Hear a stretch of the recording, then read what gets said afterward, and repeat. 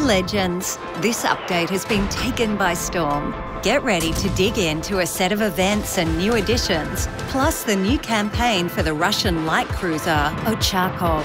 Let's take a look.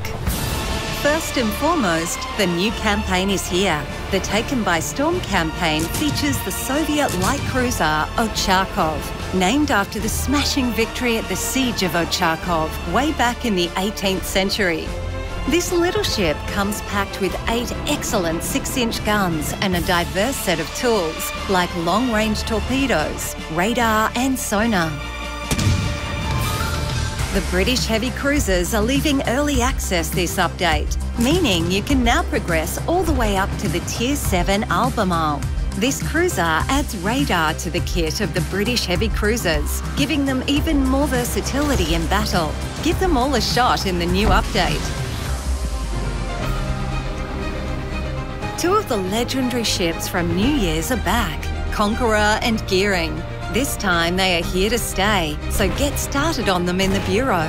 Gearing is the definitive American destroyer with a powerful mixed armament of dual purpose guns and long range torpedoes. While Conqueror is a monster of a battleship, armed with 12 419mm guns, capable of delivering absolutely devastating salvos. We're going to change things up for ranked battles this time around with two short weekend sprints. Although the losing team will still lose stars, every rank is irrevocable. Get ready to duke it out at Tier 4 from the 12th to the 15th and at Tier 5 from the 19th to the 22nd. Ranked battles are the best way to get steel badges, so be sure to compete and reach the top. We've got St Patrick's Day over the horizon, but it's not just that. March 17th is also the launch day for HMS Belfast, so she will make a reappearance for the occasion. Be sure to get a hold of this famous British cruiser while you can, along with special St Pat's bling, camos and more.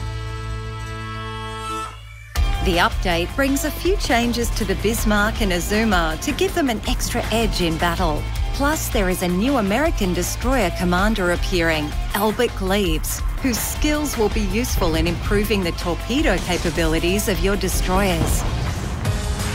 A couple of premium ships will appear during the update the Italian light cruiser Duca d'Aosta and the pan European destroyer that is equipped a radar consumable instead of a smoke generator, Orkan.